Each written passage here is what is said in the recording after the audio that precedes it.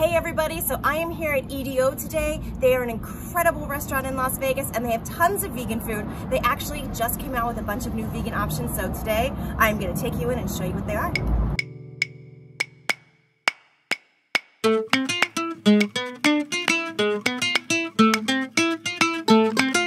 Vegan salad, uh, that's uh, with the asparagus, arugula, and uh, beluga uh, lentil vinaigrette. Yum, thank you. Enjoy. That is a perfect summer salad. Perfect. Main tartare have a mixture of uh, zucchini, cucumber, avocado puree, micro cilantro, little uh, sapi furikake, crispy rice paper. Lovely. It's got a really unique flavor. I don't know how to explain it. How would you explain this flavor, Roberto? What am I tasting? It's like Uh, a... the pistachio vinaigrette. Ah, okay. That uh, the nuttiness from the pistachio, I would say, that coming out with uh, the uh, mixed the richness of the avocado. It definitely has a more nutty flavor. Uh, the mushrooms on Rio.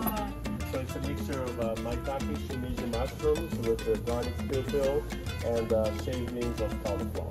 Oh, It is new, uh, but uh, the uh, garlic pil pil also is uh, uh, it emulsifies a little bit. So next we have our menestra vegetables. It's Okay. uh, Spanish uh, typical, uh, either it's a sauté or vegetables or a stew. It's so simple and beautiful. I mean, look at this. That's so good. It's got like this little kick on the end of your tongue. Oh, wow.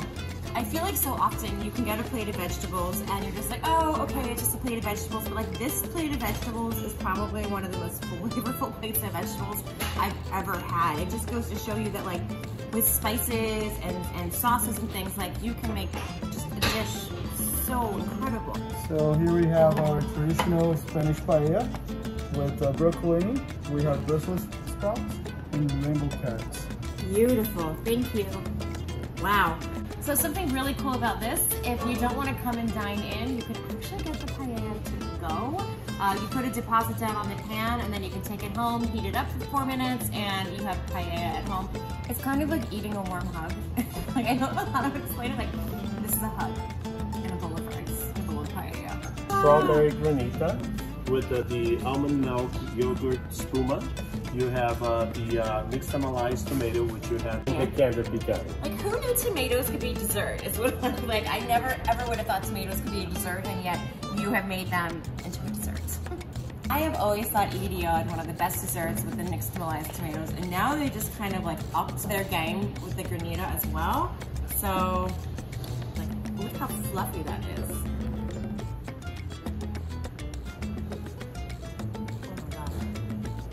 This is extraordinary. What a beautiful dessert. Um, it's such a lovely mix of flavors, and those nixtamalized tomatoes, they're sweet. Like I don't think anyone thinks of tomatoes as like sweet and dessert, but EDO has made these tomatoes a dessert, and it's so cool that we have. So everything you've seen here today is at EDO. It's on their new vegan tasting menu, minus the paella. The paella is separate. You can order um, all the courses together for $45, or you can go a la carte, and then well. Um, you can also, they have an excellent sommelier here. You can do wine pairings, they've got cocktails.